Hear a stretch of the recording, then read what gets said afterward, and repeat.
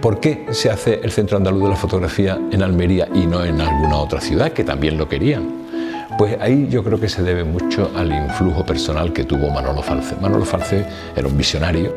Y fue muy inteligente al utilizar todo el peso que venía de lo que había supuesto Afal, lo que había supuesto Artero y Pérez Siquier para decir, oye, que somos el lugar no solo del cine, somos el lugar de, de la fotografía.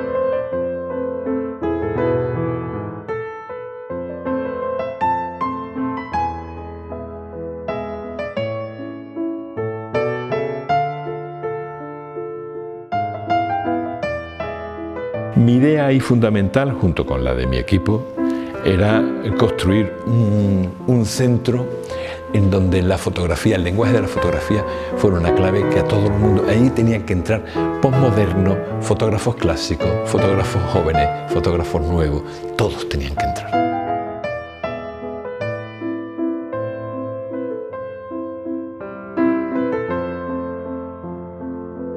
Es arte lo que nosotros miramos, el arte está en nosotros, el arte existe.